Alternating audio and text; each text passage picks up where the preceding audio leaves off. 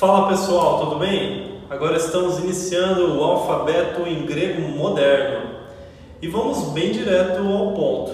Vamos mencionar quais são as letras e exemplificar por meio de palavras, sem nos atermos muito em relação à etimologia.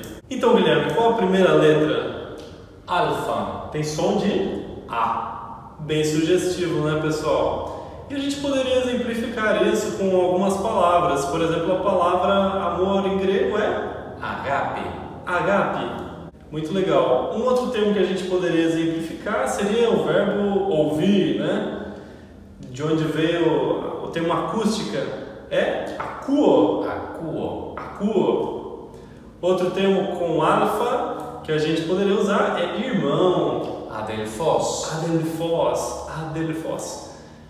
E, só para encerrar, um termo que existe também na língua portuguesa e que é a mesmíssima pronúncia em grego é o termo dúvida e passe, que é aporia.